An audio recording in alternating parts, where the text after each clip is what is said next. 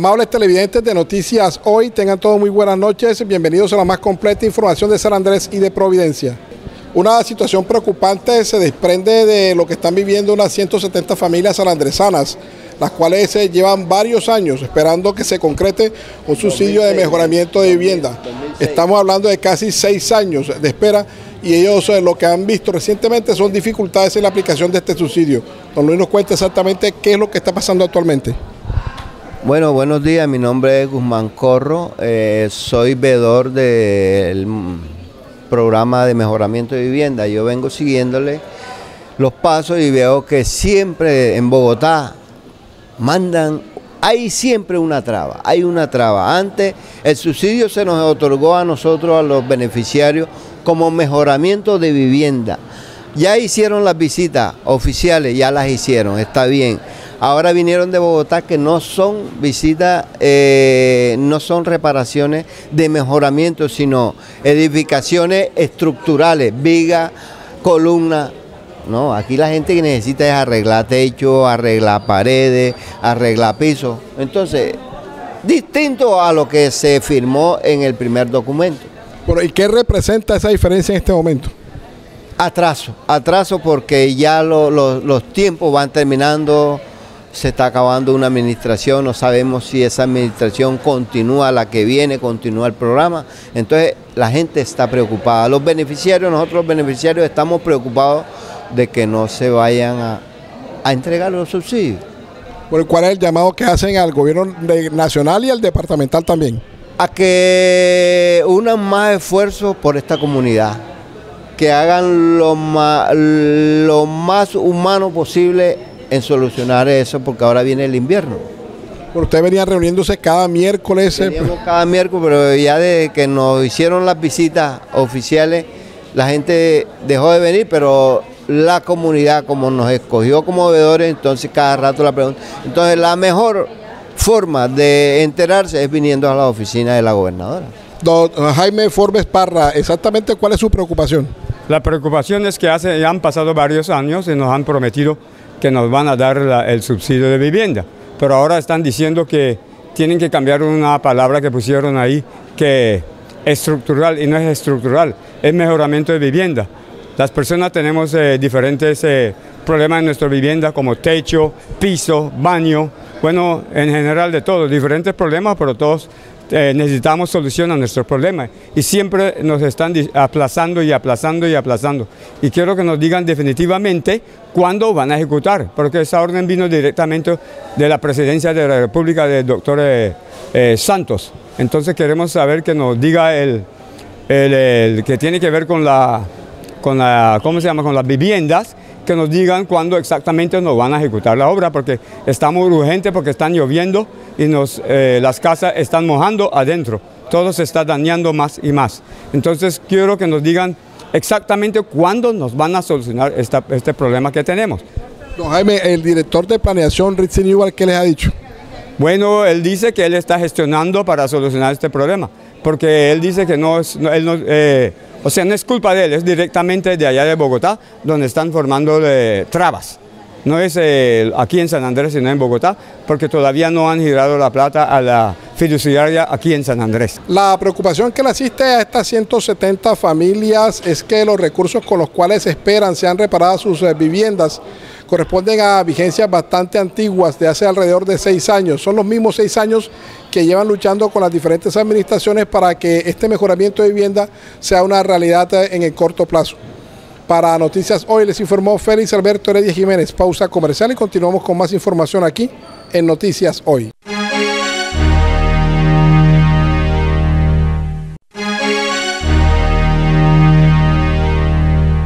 Al conocer la inquietud de la ciudadanía en relación con el subsidio de mejoramiento de vivienda para 107 familias, también quisimos conocer las impresiones del director de planeación departamental sobre este tema. El doctor Recién nos aclara qué está pasando con estos subsidios. Sí, hola, gracias. Sí, esta mañana hemos estado teniendo reuniones con con algunos de los beneficiarios y representantes de beneficiarios del programa de, mejoramiento de las 170 ah, viviendas en, San Andrés, en el área urbana. Y nosotros entendemos las inquietudes del, de los beneficiarios, ya um, tenemos cuatro o cinco meses de empezar activamente trabajando con ellos, haciéndoles visitas um, para ver el estado de sus viviendas quisiéramos haber empezado la ejecución de las obras en firme también, no la ejecución del proyecto, porque el proyecto ya está en ejecución.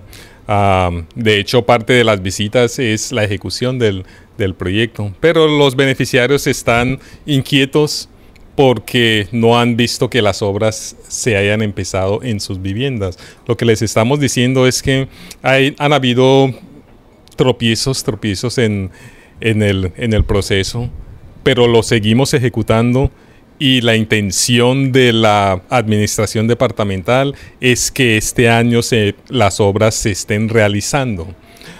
ellos están inquietos porque dicen que ah, estamos ya en octubre, en dos meses y medio termina este año y entonces el proyecto ya no seguiría. Lo que les dijimos es que el proyecto ya está contratado ya está contratado el operador que va a ejecutar el proyecto, ya la interventoría del proyecto está, está contratado, ya la fiducia está establecido para, para que el proyecto se, se ejecute. Entonces ya está en marcha.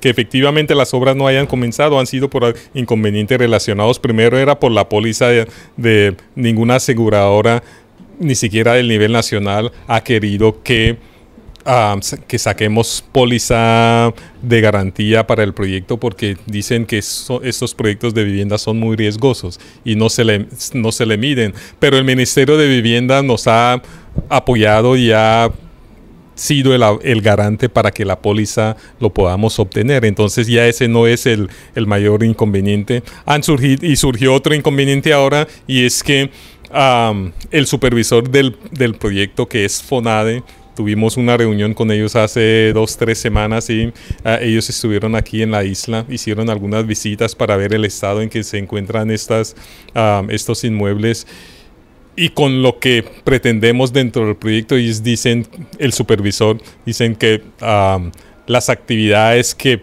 nosotros planeamos realizar no se ajustan a los requerimientos que exige el, el, el, Estado que exige el Fondo de Vivienda para la ejecución de estos proyectos relacionados con que son obras estructurales y no para mejoras saludables.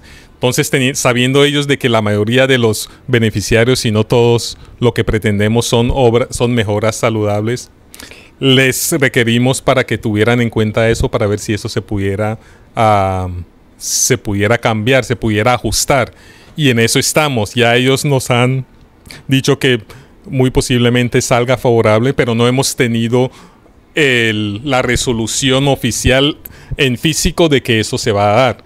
Pero les hemos dicho a los beneficiarios de que así, así va a ser. Estas son las sesiones que hemos estado adelantando. Entonces solo estamos esperando a tener ya ese visto bueno para que ellos, el Ministerio Fonvivienda, pueda desembolsar los recursos y el operador ya pueda empezar en firme las obras de mejoramiento en estas viviendas habrá ningún tipo de contratiempos con el cambio de administración departamental. No, no, porque ya el proyecto está contratado. Sería continuar con la ejecución del, proyecto. No es como en, años anteriores en donde sí al beneficiario se le había dicho que fue ah, seleccionado y luego que fue, fue escogido como beneficiario, pero y después el proyecto quedó estancado, no ocurrió nada, estaba engavetado. No, ya el proyecto está contratado, ya está contratado Solo estamos empezando, eh, esperando ese aval para que las obras ya empiezan a realizarse en las viviendas. El proyecto está contratado, la interventoría está contratada, ah, la fiducia está seleccionada. Solo falta ya este requisito para que podamos continuar con ello. Pues es un tecnicismo que será solventado en las próximas horas, ha dicho el secretario de Planeación del departamento. Se espera que el Fondo Financiero del Proyecto FONADE permita hacer este ajuste que desempantane esta preocupación que tienen los 170 eh, representantes de las familias que esperan ver concluido su proceso antes que concluya la presente vigencia.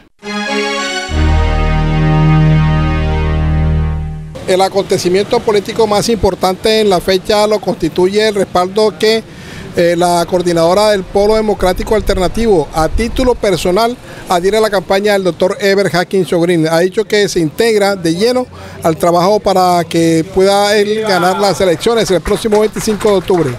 O sea, no es el Polo Democrático quien lo hace. El Polo Democrático da libertad a todos sus militantes, seguidores, apoyar a quien bien, a quien bien les parezca, ¿no? Pero mi persona, sí estoy 100% con el doctor Ever Hacking Green. ¿Qué me motivó? Fue fundamental haber asistido a los dos debates, sin duda alguna. Otro punto importante es que conozco a Ever Hackings, lo he visto crecer como persona, como profesional y en lo público. Sé, el que más, sé que es el que mejor preparado está, en lo público, en todo. Por supuesto, económicamente no. El polo no maneja los recursos que tal vez manejan otros partidos, pero tenemos una buena base de datos de militantes. No puedo asegurar que son todos, pero me atrevo a decir que en su gran mayoría van a apoyar la propuesta del doctor Ever Hacking Green. Y que leyendo el programa de gobierno de los cinco es el más completo. En lo personal, a partir de este momento, usted se suma a la gran cruzada de personalidades, empresarios, comerciantes jóvenes que impulsan el nombre del doctor Ever. Claro que sí, desde este momento me pongo la camiseta, estoy a la disposición de lo que diga o exija el, el doctor Ever Hacking como jefe natural, en este momento lo es. Quiero hacer la claridad, es a título personal. Doctor Ever Hacking Shogrine, eh, ¿qué representa para Opción Ciudadana para su candidatura, en específico este respaldo que le da la coordinadora del Polo Democrático Alternativo de San Andrés?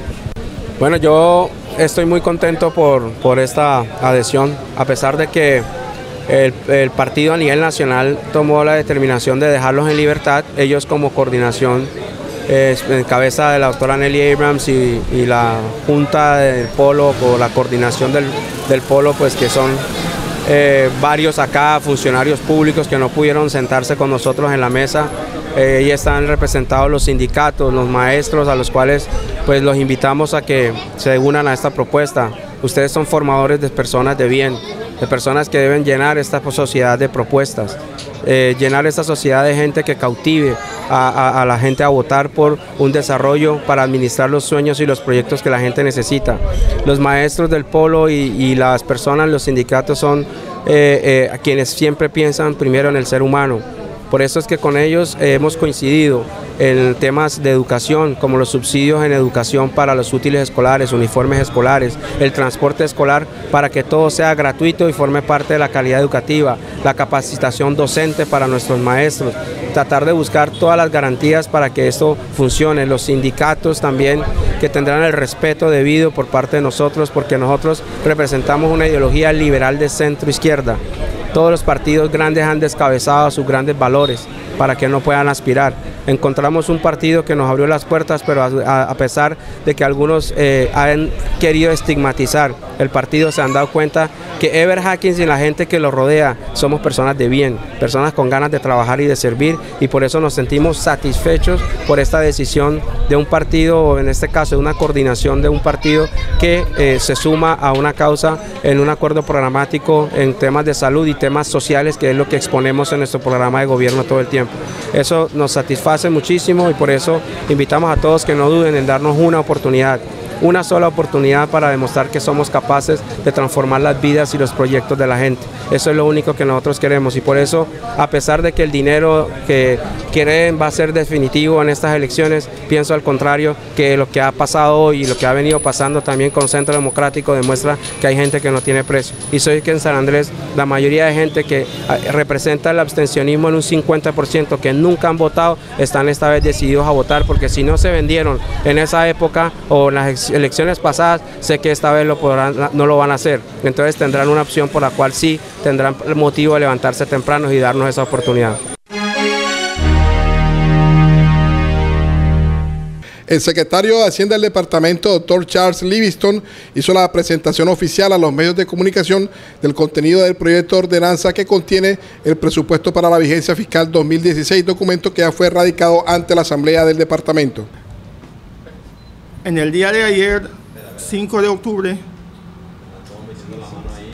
fue radicado el proyecto de presupuesto ante la Honorable Asamblea por un monto cercano a los 293 mil millones de pesos.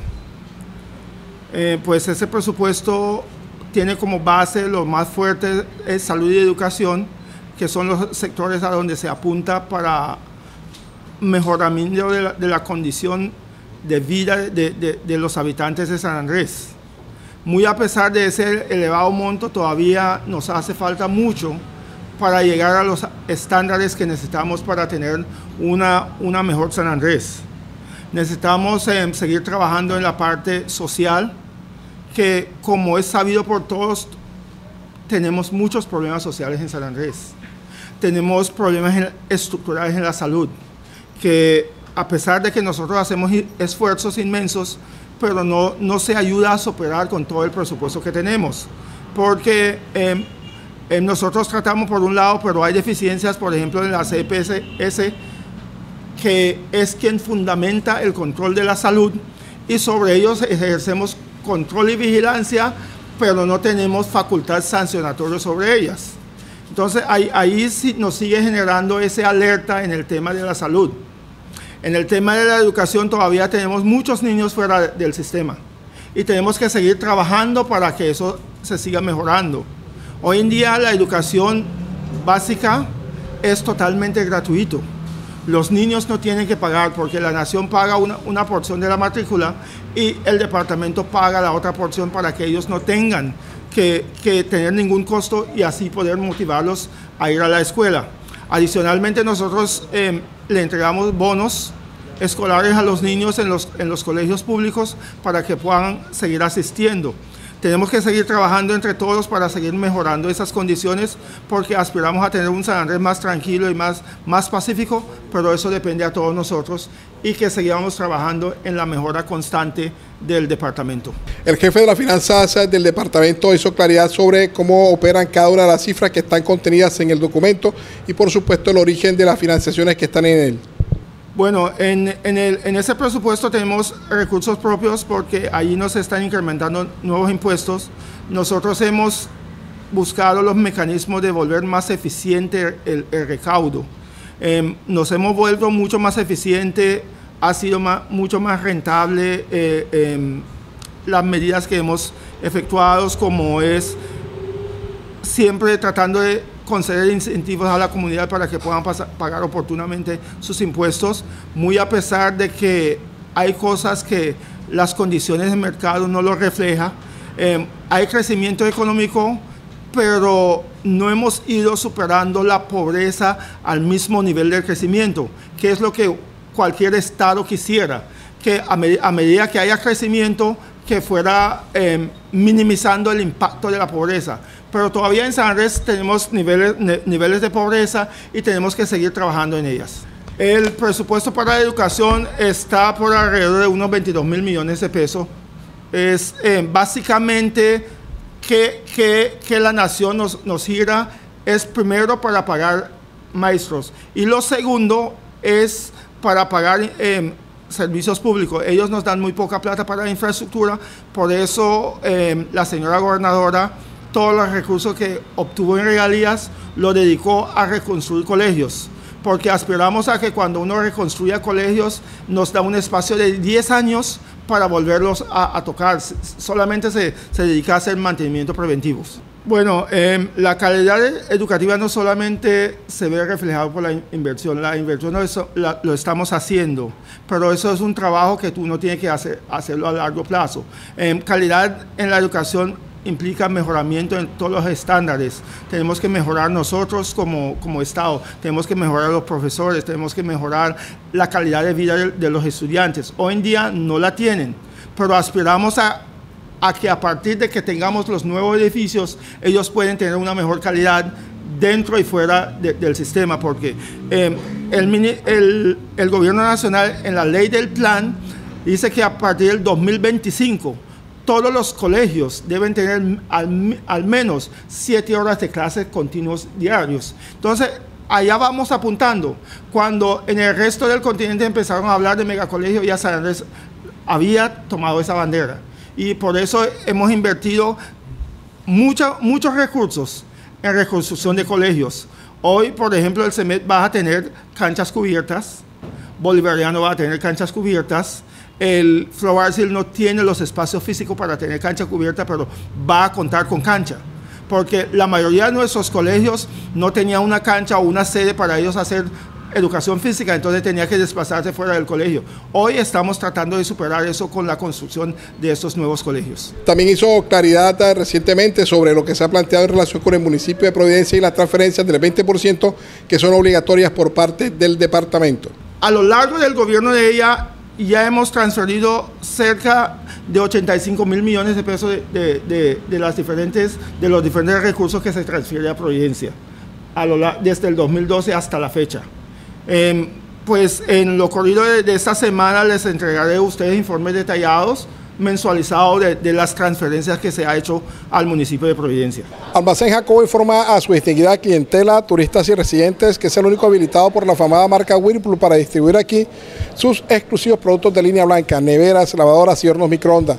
También usted encuentra en Almacén Jacobo aires acondicionados en la marca Whirlpool que cuentan con tecnología inverter y son ahorradores de energía. Almacén Jacobo, el único, está ubicado sobre la avenida Las Américas.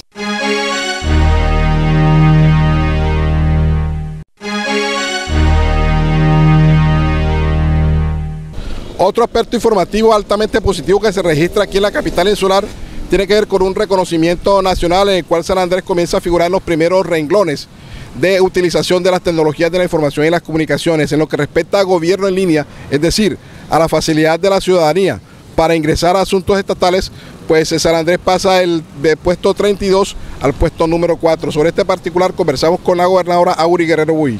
Sí, señor. Resulta que cuando nosotros llegábamos al departamento estábamos como en el puesto 28 de 32 era necesario eh, cumplir con los requisitos y con los diferentes niveles de gobierno en línea y nos propusimos con el doctor César al darles la asignación también de todo lo que tiene que ver con la tecnología, la informática y la telecomunicación, el ir mejorando esos niveles. Ahora tenemos una página web que es la más visitada del departamento archipiélago. Tenemos un reconocimiento del gobierno nacional donde nos califican de cuarto lugar en Colombia en gobierno en línea. Hemos ganado dos concursos que nos significaron 20 aulas digitales y también todo lo que se refiere a Wi-Fi en el territorio.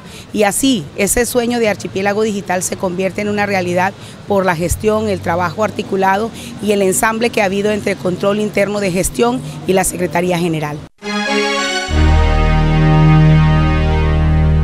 Con estas notas, amables televidentes, nosotros completamos la tarea informativa por el día de hoy, como siempre dando nuestros agradecimientos especiales a la firma Almacén Los Dos y a su tradicional marca Alberto Veo 5. Alberto Veo 5, vista a los presentadores en Noticias Hoy. Tengan todos muy buenas noches.